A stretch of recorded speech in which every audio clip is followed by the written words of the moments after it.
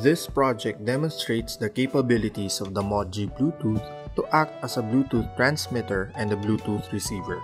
We will use two Gen 4 LCDs that will act like a remote and a graphic air cooler.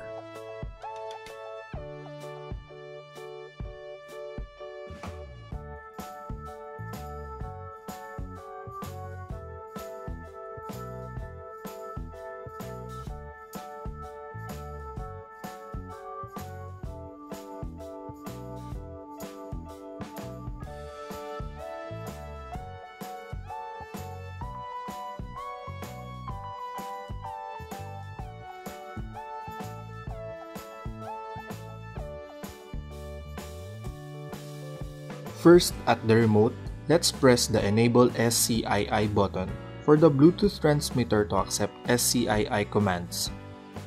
Then press Connect to connect the receiver Bluetooth MOTG.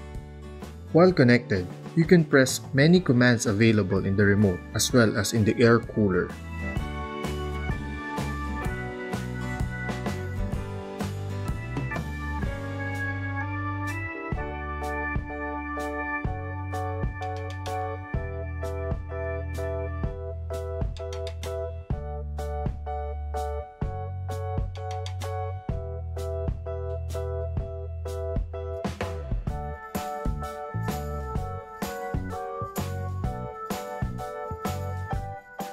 Replace the MAC address in this code to the receiver Bluetooth module or the air cooler.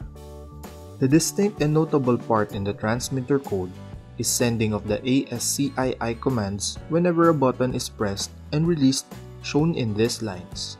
While the main part in the receiver code is the serial available where the controller waits for incoming Bluetooth data from the Mod G.